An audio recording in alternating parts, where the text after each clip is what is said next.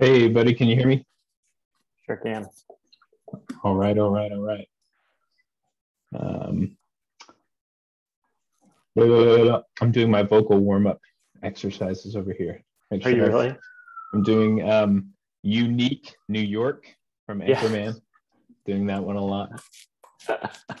Making sure we're all ready to go here.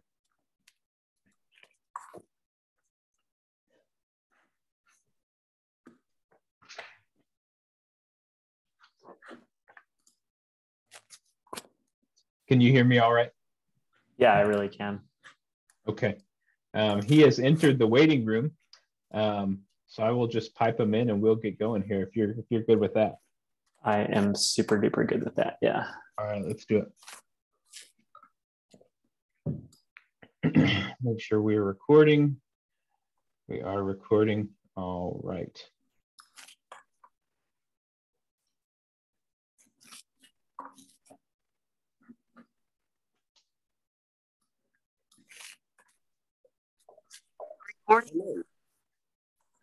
Father Michael. Can you hear me? We can hear you. Thanks okay, to the miracle. Right. Thanks, thanks well, to the miracle of Zoom. Yes, well, it's amazing, isn't it? It has its um, limitations, I'm bound to say, but but it does do things. I see you've got grandma there and very prominently in the back. he's um, he's good again. The Daily Office has been published, so we, you know. yeah, yeah, yeah, yeah. like like him or not, he's part of the patrimony. You know what I mean? Yeah, so well, that's right. Well, there are. It's like a curate's egg, isn't it? I mean, there are lots of things to like and some not to like.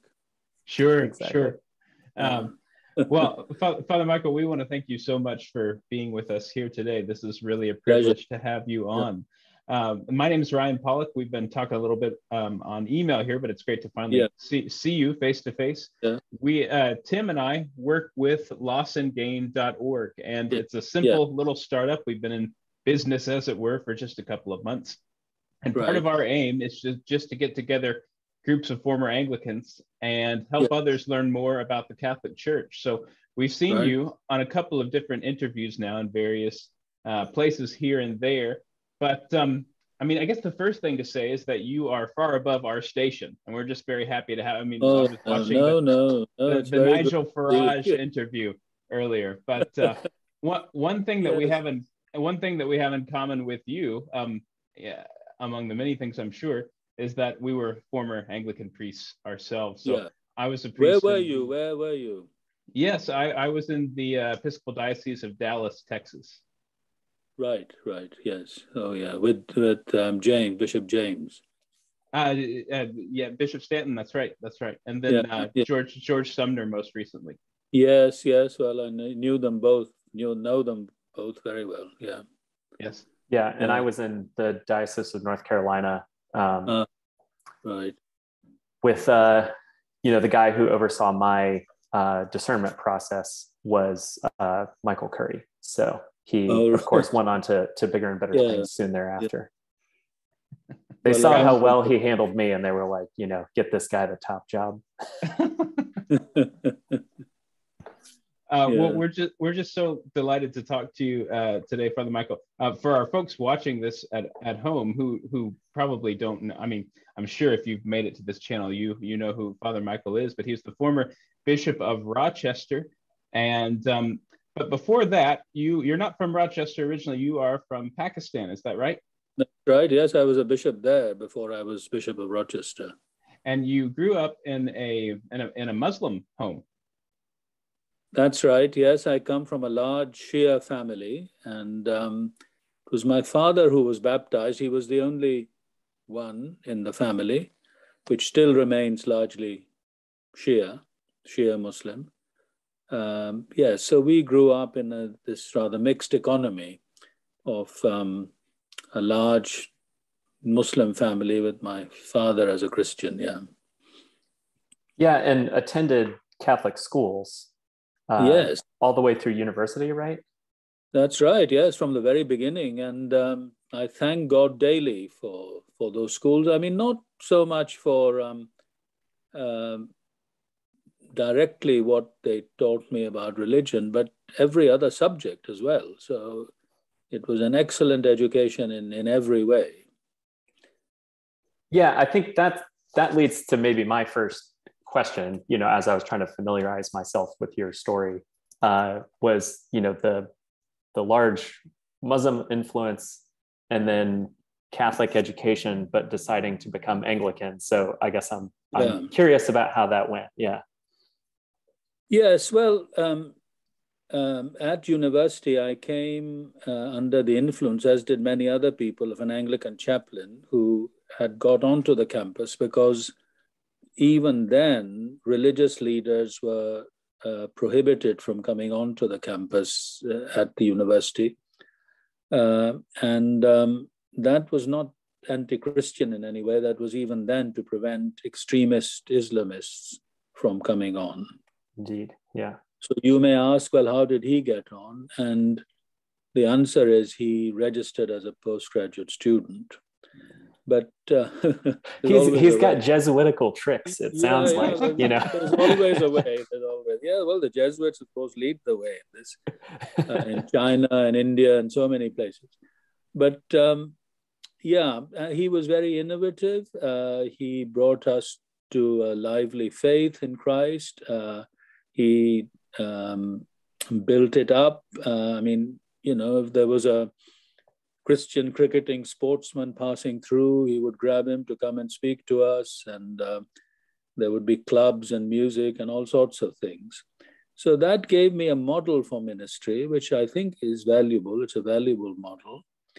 And um, my encounter with Anglicanism suggested that here was a good way of being Catholic without being Roman Catholic.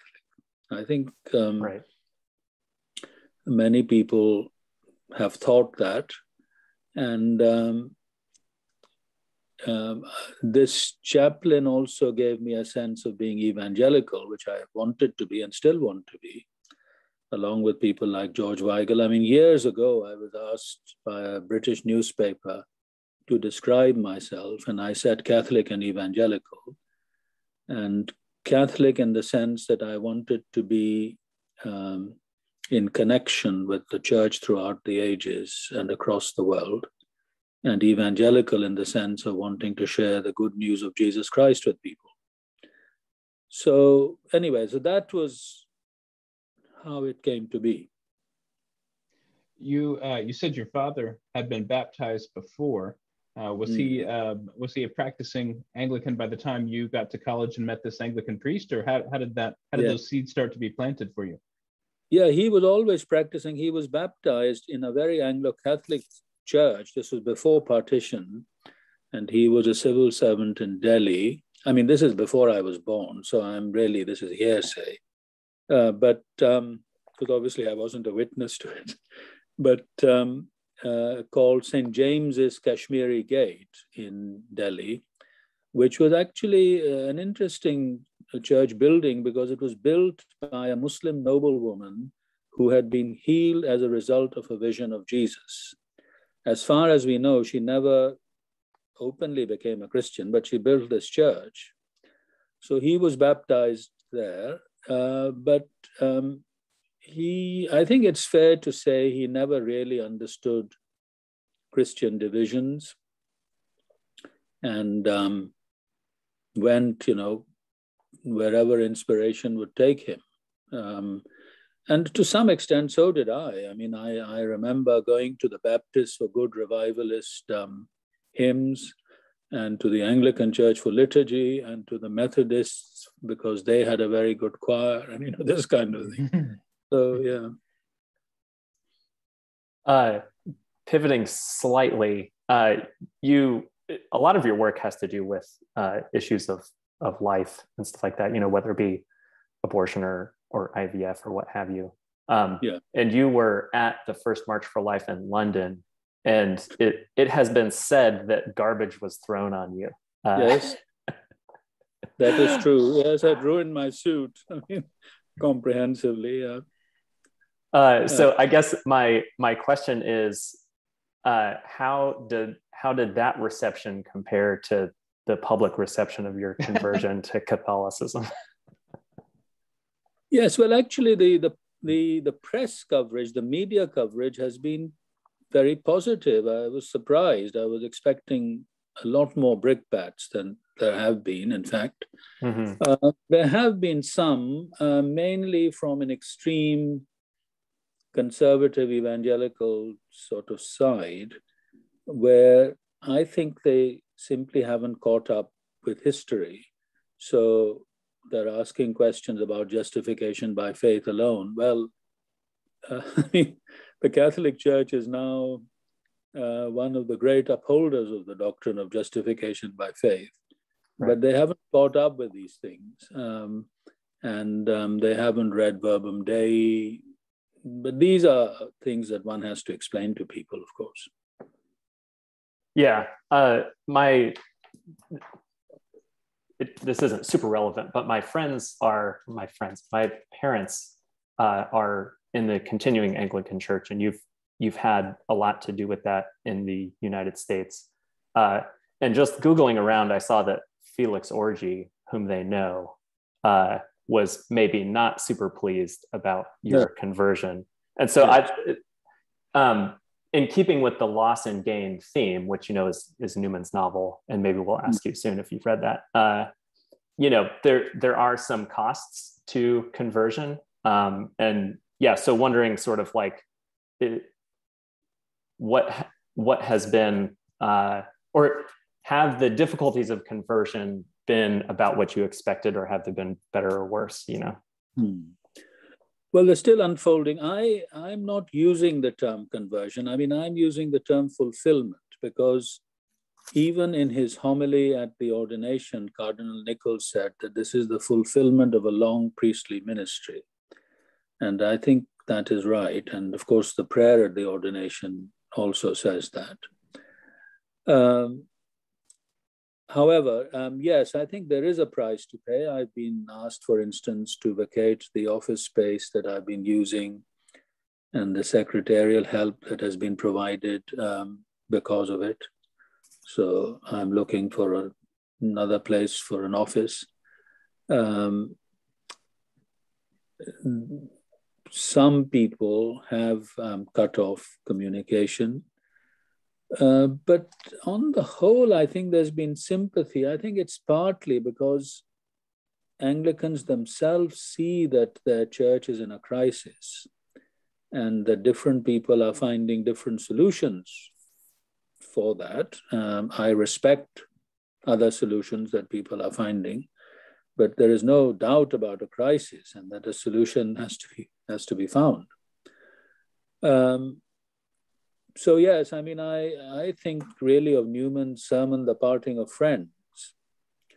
Um, and I think it is that, unfortunately, with some people, uh, in one or two cases, the least expected people whom I had informed well in advance of what I was thinking. But when it actually happened, I mean, when I told them at first, they were supportive and said, yes, you know, one person even said, Well, take me along with you. But when it actually happened, um, they were more um, reserved or hostile.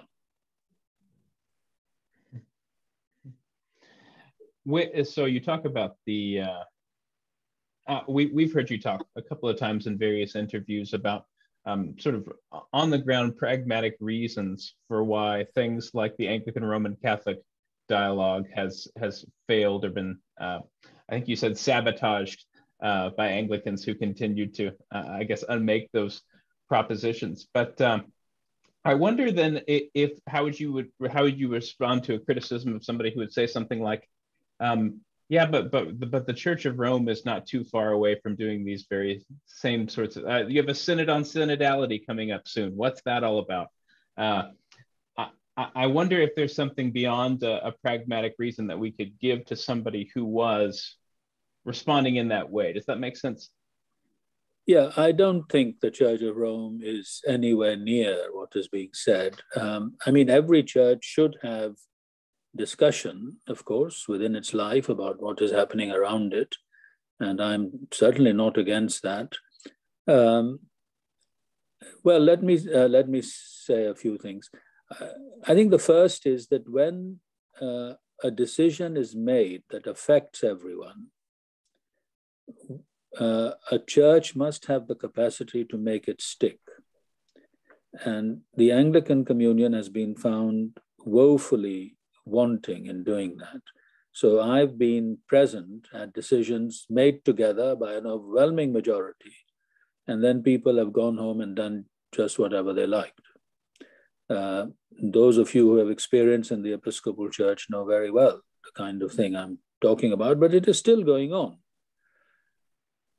Secondly, I think you need a clear body of teaching over a whole number of things. I mean, um, life issues were just mentioned by Tim.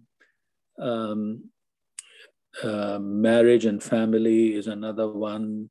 Uh, religious freedom is another one. The, the relation between the word of God and tradition is another one. I mean, there are so many you could enumerate. Uh, Mary and the saints. Um, uh, but you need a body of teaching to which you can appeal. Uh, I've just written an article for Faith magazine on uh, the observance of Sunday, because the obligation is still suspended here. I am not sure about the US. But you know, what is the importance of meeting on a Sunday, and what is the importance of um, receiving the Blessed Sacrament on a Sunday, and that kind of thing. So I, I while I was doing that, I consulted the Catholic Catechism, of course. Um, uh, I definitely did that in my ministry all the time. I was like, what yeah, did they well, say? Oh, that makes yeah. a lot of sense. well, exactly. Well, again, yeah, so did I. So, um, so I think a body of teaching, and then thirdly and crucially, uh, that there should be a proper authority that can, from time to time, not promiscuously, not all the time, but from time to time, say to the faithful, that is the way to go, not this one. Uh, and Anglicanism conspicuously lacks it and actually disowns the possibility, I think, more seriously. Um, although some sensible Anglicans um, do see the need for it. I mean, Robert Runcie, with whom I worked uh, in the past, used to say, there is only one universal primate. Don't try and turn the Archbishop of Canterbury into a universal primate.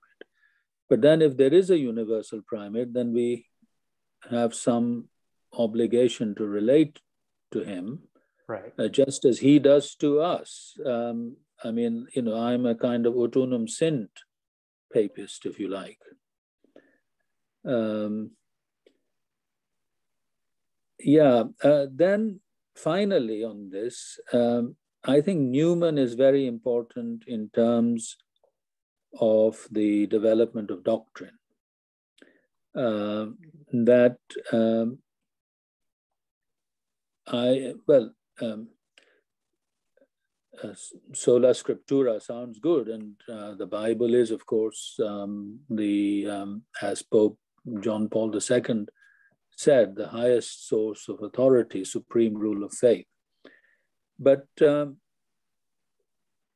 uh, how do we relate the Bible to new knowledge?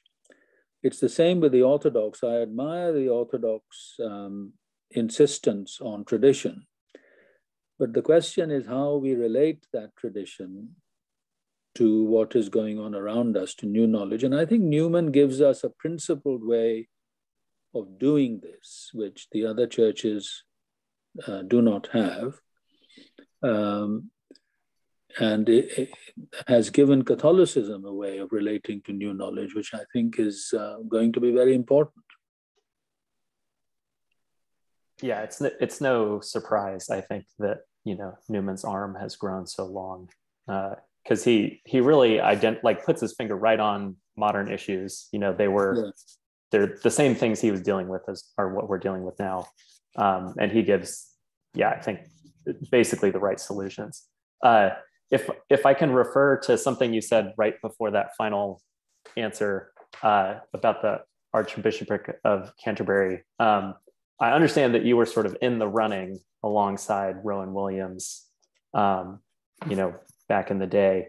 Uh, so if I can ask you to imagine an alternate universe where where you, you know, ascend to the the throne of Saint Augustine, uh, how do you bring the Church of England and Rome back together? Yeah, no, I, ca- I can't comment on it. I mean, I think if you want to see comment on it, then Rowan himself has given an interview to the Telegraph last week um, in which he discusses this issue, but it's not for me to discuss it. However, um, I think the problem, you know, whoever it is, the problem remains that, um, as the, the present Archbishop of Canterbury said recently when he was asked uh, this question, he said, Well, we make decisions by consensus. And even then, people uh, need to own that decision or not to or, or, not to own it. Well, I mean that's not going to work, and um, it will cause um, incoherence and indeed chaos, as it has done in the Anglican Communion. So um, the, the provision of a universal primate to exercise his office uh, prudentially uh, and providentially is a necessity, I think, for the church.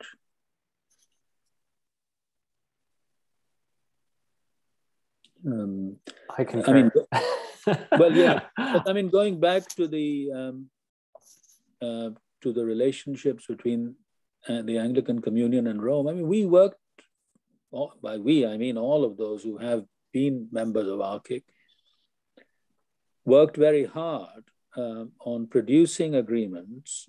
The mandate was to produce agreements that would restore communion between the two churches. I mean, that was the mandate. It was not kissy kissy ecumenism. Uh, it was not uh, just about friendly dialogue about how we could work together on practical things and so on. It was about the restoration of uh, sacramental communion between the two churches.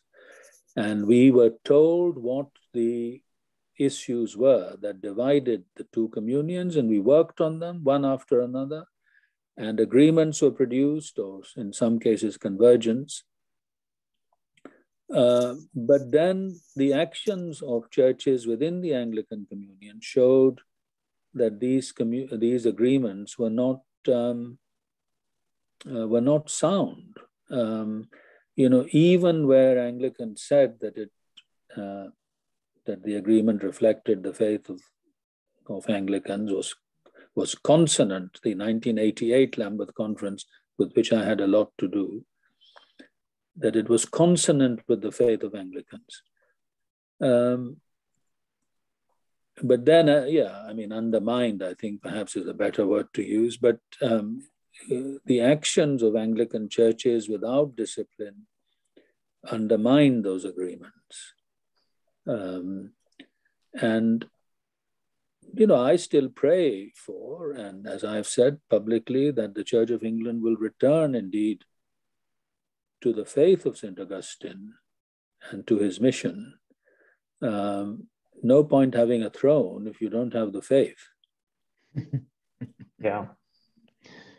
Father Michael, much has been made in the news of you not belonging to any sort of Anglo Catholic party and how surprised everyone is that a self styled evangelical is making this move. At least that's the sort of uh, buzz that we've heard around lately. But uh, I, I wonder if you could comment on what's from from your perspective, what specifically started to lure you in, draw you in to consider um, Roman Catholicism as a, as a live option for you, um, or and or cracks in the Anglican foundation that made you look over next door and say, "Hmm, I wonder what I'm missing here." Like, what were the first stepping stones? You know?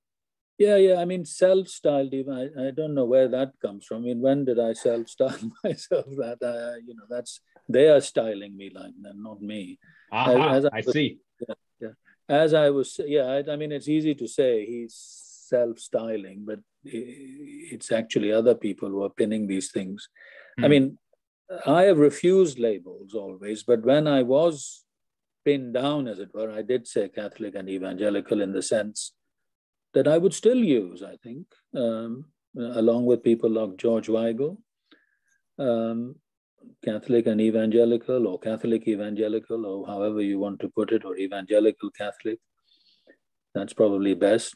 However, uh, as I was saying, uh, from the very beginning, my attraction had to do, yes, certainly with mission and evangelistic ministry, but also with a way of being Catholic. I think I, you know, I thought Anglicanism offered a way of being Catholic. Um, certainly, um, um, in any kind of division, then there has to be room for further unity. And I didn't think that Anglicanism had everything, but I did think that it had many things um, which impelled it towards greater Catholicity. It also has, I now recognize, many things that lead it in the opposite direction. Um, so, yes, I think I I have said what the three things are that uh, what affects everyone uh, should be implemented so that it is implemented everywhere. That a body of teaching is needed to which the faithful and the clergy can appeal, and that you need an authoritative magisterium that intervenes not to change the faith of the church, but to define it and clarify it, articulate it. Mm-hmm.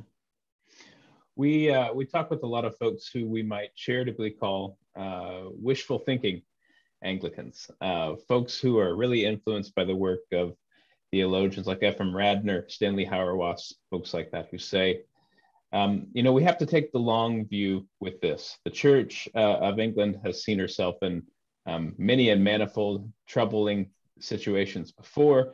Uh, we have to be a part of a faithful remnant of sorts who endures through the Babylonian captivity and comes back and gets to rebuild uh, the temple in a new sort of orthodox traditional fashion.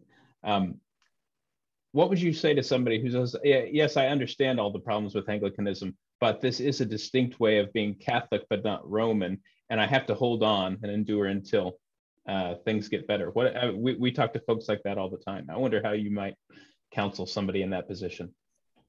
Yeah, I would say, I mean, it's never nothing. You know, these are Pope Benedict's words, by the way. It's never nothing. So, of course, um, wherever there are elements of holiness and truth, um, there um, Christ is present, and where Christ is present, the church is present. I don't um, deny that. Um, but um, it's wounded and it's um, out of contact with the very things that can give it life um, and unity. And um, uh, I don't think that the direction of that the Anglican Communion is taking at the moment is going to result in an orthodox revival. I think it is leading to a liberal Protestantism. Um, and um, if people make another sort of judgment, well, um, they can do so, of course, but the evidence is there for everyone to see. I mean, take the Episcopal Church. Um, 30 years ago, there were enough bishops uh, in the Episcopal Church who had this um, kind of Orthodox Catholic evangelical commitment, and they belonged to something called the Irenaeus Fellowship. And I attended their meetings from time to time. Well, that simply doesn't exist now and could not exist.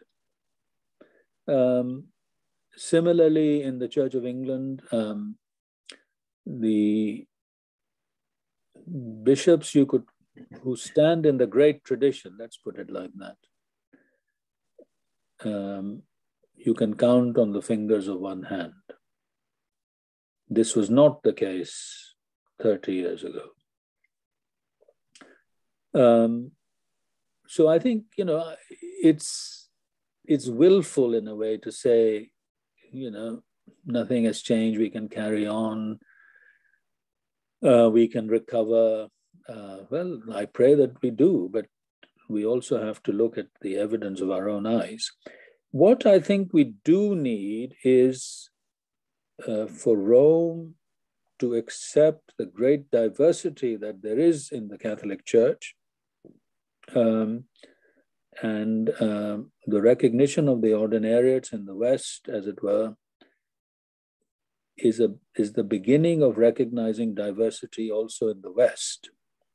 I mean, the West is becoming diverse in other ways because the Eastern rites are coming to the West and are quite populous. I mean, in Britain, for instance, just in very recent years, the Syro Malabar rite from India, uh, for reasons of um, immigration because of the medical profession and so on, uh, that has become a substantial Catholic presence. And they now have their own bishop here in Britain. Well, in the US, you have much more uh, diversity like that. I've met the Maronites in the US and so on. But I think um, what we need to reassure our um, friends um, of the Latin usage is that diversity is not a threat, but it's actually an enrichment or can be an enrichment uh, for the whole church. The ordinariate, I think, has a mission in this. And um, having criticized some of the lacks in Anglicanism, there are also riches in Anglicanism uh, that need to be shared and um, um, are worth sharing. So, yeah, that is the kind of thing I would say. Uh, it's a two way thing. I mean, um, the movement towards greater Catholicity, but then the Catholic Church also has to provide wriggle room for those who are coming. Um, that was great, by the way. Uh, so one of the questions that I guess I'm surprised I haven't heard asked, and so sorry if this has been, you know, ground covered in previous interviews, is like, uh, what is the best part of being Catholic now? And I know, you know, you don't have a lot of lot of time under your belt, um, but and I'm particularly curious because of what you said earlier about how you you don't even think of it as conversion but fulfillment. And so, you know, whether it's in your private devotions or your your priestly ministry, you know, how are you? What sort of is most exciting about being Catholic now? Yeah, I think the universality and the uh, standing in the great tradition in a way that is authenticated by a teaching authority so that you're not just making things up all the time. Um, I think that's the that's the temptation in Anglicanism is to make up things um, if you can't find them anywhere else.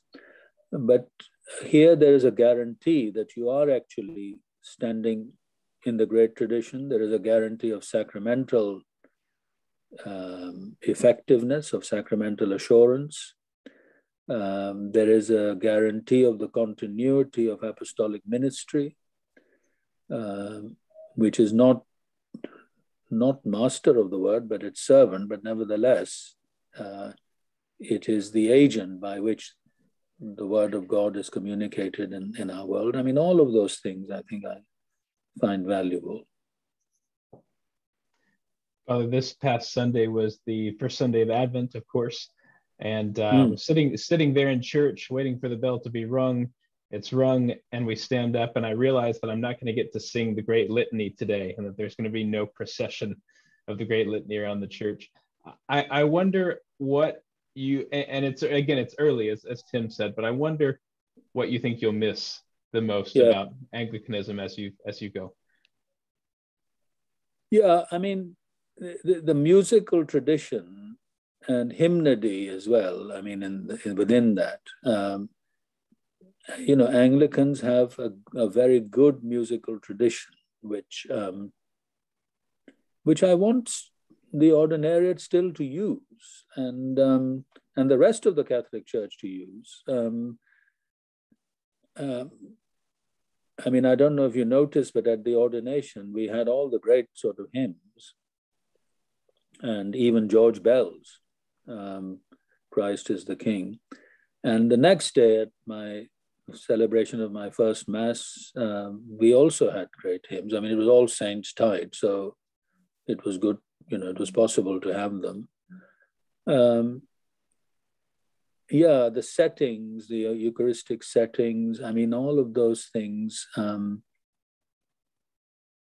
uh, yeah, I do miss, but I hope we can continue using them. There's no reason why why we shouldn't. Yes, the Commonwealth Daily Office is any proof, uh, Rome will steal the best stuff anybody has. Yeah, I mean, it's just it's it's astonishing to me how good it is, and I'm like, yeah, this is the stuff I was praying for years. You know.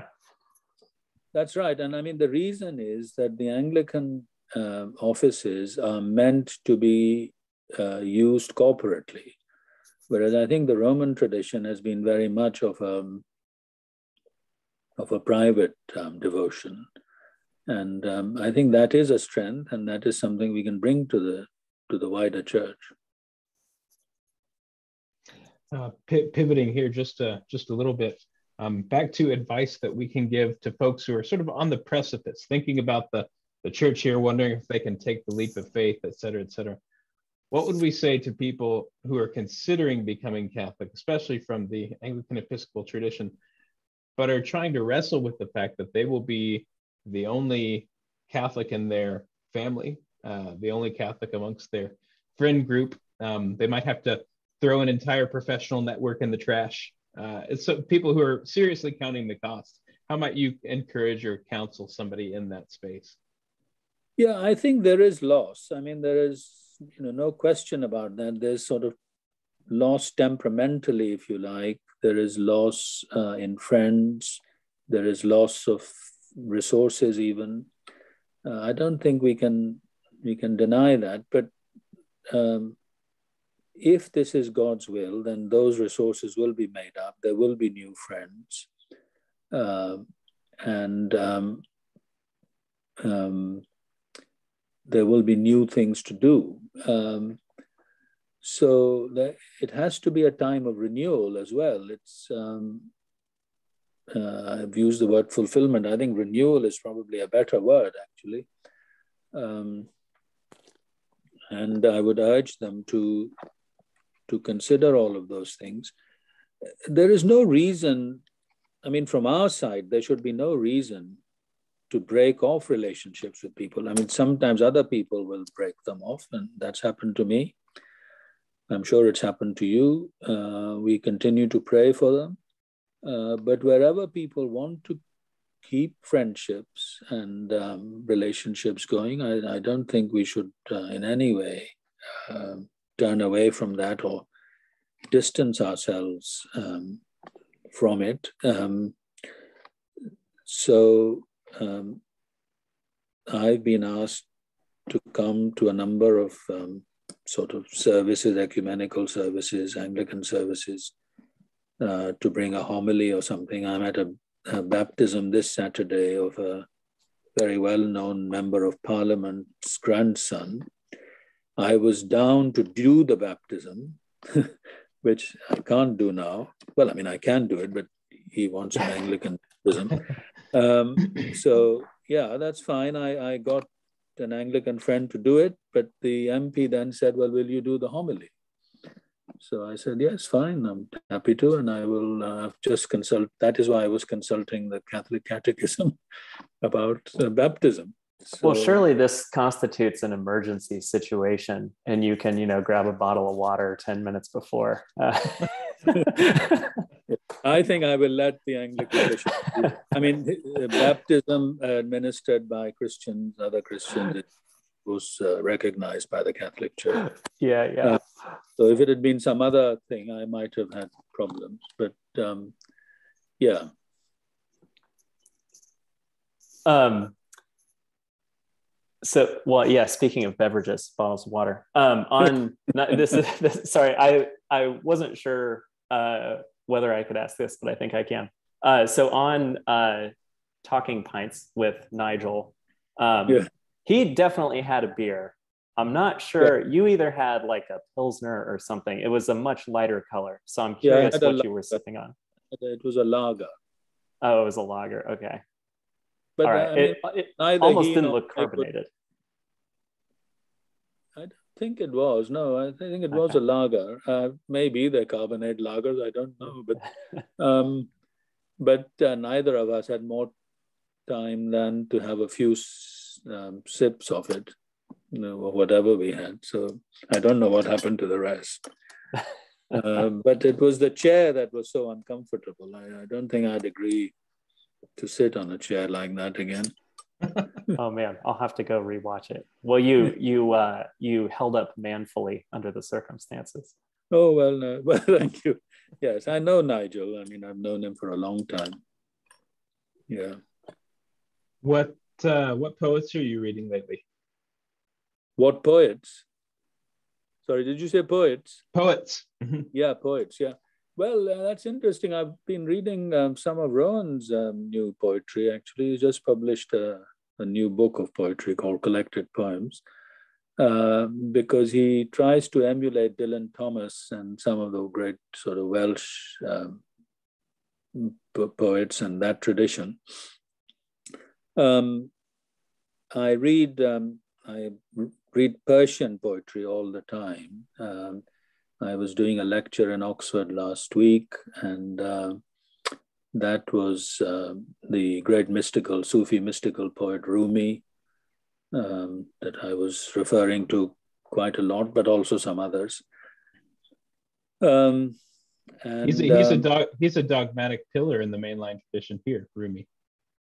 well, no, I, well, you see, this is I've missed a boat on this one because in the 70s, uh, as a, because of my academic work, I had read every line of Rumi.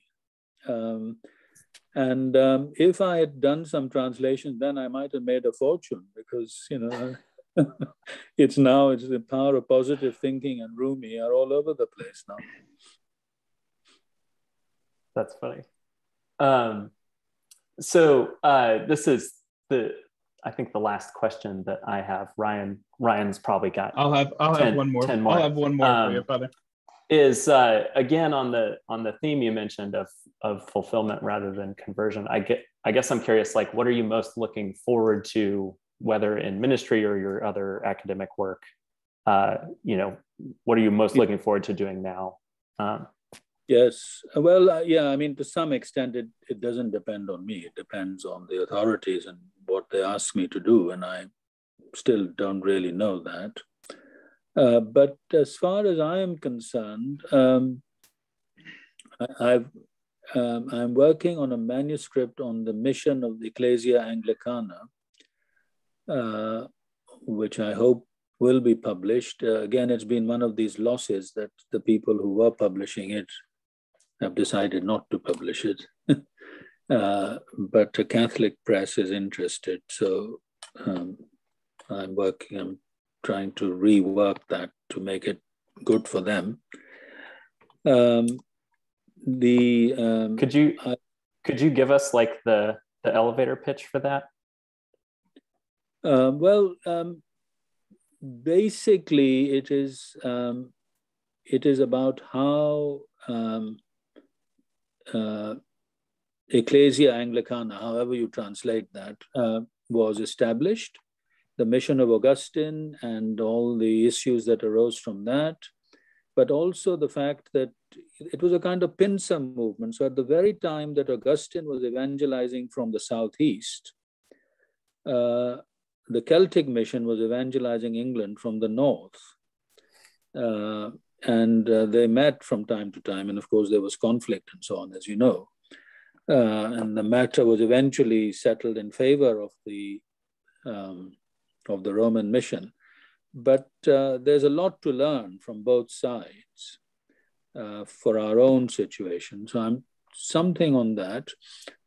Um, then something on the Reformation period and the the rendering of the of the Bible and the liturgy into the vernacular and its effect on um, on people. Um, the um, um, the way in which Anglicanism, as I was saying, has both a, uh, an impetus towards greater Catholicity and an impetus towards fragmentation hmm. uh, needs to be explored.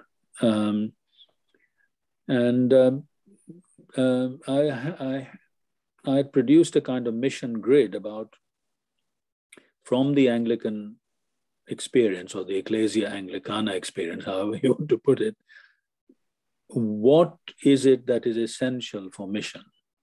Uh, and I've produced a kind of grid. Um, so, yeah, let's see how that works out. That's wonderful. Thank you. I have two more for you, Father, of grave importance. What is, uh, in your opinion, the best Pakistani food item? That's mm. question number one. And then question number two What's your favorite papal encyclical? Well, let me answer the second one first. I think, um, well, there are two actually. Uh, uh, Saint John Paul II's Redemptoris Missio was about the continuing missionary mandate of the church, in which he discusses questions of mission and inculturation. Um, that I was asked actually to respond to it by the Vatican, which I did, a brief response, because they were collecting responses many years ago. The other act, also actually by him, is Ut Unum Sint, which is the ecumenical vocation of the papacy. I think that is very, very important uh, for beautiful. us. Yeah, yeah. Mm-hmm. That reading that just about converted me on the spot. It took a couple years yeah. to work out what job yeah. I would do if I wasn't a priest, but that I was like, oh yeah, here we go. yeah, yeah, yeah, yeah. Just try to read that one and not get misty eyed. I dare you. Right. It's very yeah. important. Uh, He's and dodging favorite, the food question. He is, yeah. but you we, we need oh, to know, we yeah, need to know sorry, the best Pakistani dish. It's very important. Yeah, well, um, yeah, again, and this is a difficult question. I mean, not because I don't know what to say, but there are so many things to say. I think kebabs, um, there's a whole variety of kebabs.